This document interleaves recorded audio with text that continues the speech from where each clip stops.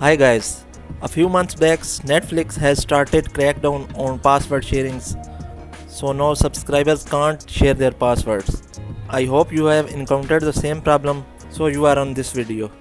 I will share the problem of this solution. Method 1 is use I'm traveling. On the error screen select I'm traveling. This will send a code in form of notification on your registered Gmail or on your phone number. Put that code on the screen and you are ready to go. This is temporary fix and it will work for 2 to 3 weeks. Second method is verify the TV is part of your Netflix household. Open Netflix app and go to get help. Here go to manage Netflix household. Confirm it or update your household. Third method is use Chromecast or AirPlay. If your Netflix is working on your phone, then you can cast it through a Chromecast device or AirPlay and you don't need to sign in Netflix on your TV. Method 4 is pay extra $8.